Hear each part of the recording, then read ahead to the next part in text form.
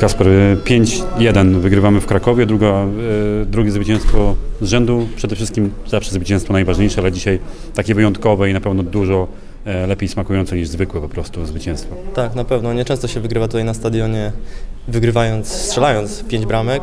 Szkoda tej ostatniej bramki, że straciliśmy w końcówce, ale na pewno cieszy zwycięstwo okazałe i wracamy do Szczecina z trzema punktami. E, ty byłeś strzelcem tego piątego gola e, dla Pogoni. E, wyjątkowy gol dla Ciebie, bo, bo dopiero kolejkę temu e, debiut w tym sezonie. E, po długim, długim e, leczeniu się, po dochodzeniu do, do, do siebie. Już tam były minuty w rezerwach i, i w innych drużynach, ale wyjątkowy gol i wyjątkowy mecz. Tak, dla mnie to był wyjątkowy mecz, przede wszystkim, że jestem wychowankiem Pogoni, mecz z Krakowem zawsze są meczami szczególnymi. No i taka ciekawostka, że to była dziewiąta kolejka. Rok temu i dwa lata temu niestety odniosłem poważne kontuzje, gdzie wyeliminowały mnie na długi czas, a teraz w dziewiątej kolejce strzelam bramkę, także można powiedzieć, że jestem teraz najszczęśliwszym zawodnikiem i oby tak dalej i pracuję ciężko, żeby w każdych kolejnych, minut, w każdych kolejnych meczach dostawać minuty, szanse od trenera. Idealnie ten gol w tą stronę, gdzie siedzieli kibice, koszulka zdjęta, żółta kartka, do tych głupich pewnie zapisana, więc może jakaś kara będzie.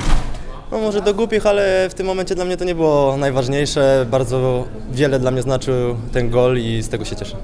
E, ta radość jeszcze po meczu dodatkowo pod tą trybuną e, z kibicami. Dzisiaj cała drużyna, można powiedzieć, i kibice e, ci wyjazdowi i to na boisku. Wszyscy zmiennicy, tak naprawdę trener to też podkreślał na konferencji, że każdy dzisiaj, kto wystąpił, a nawet nie, nie, nie wystąpił, e, dzisiaj byliśmy jedną wielką drużyną. Tak, dokładnie. Dobrze wyszliśmy w mecz, zmiennicy także dali jakość. Jestem zadowolony, także nic tylko patrzeć do przodu. Szczególne gratulacje też dla Olafa i dla Stasia, którzy debiutowali w dzisiejszym spotkaniu. Olaf dał asystę. Stasiu ciężko pracował na ten debiut, także dla nich brawa i czapki z głów.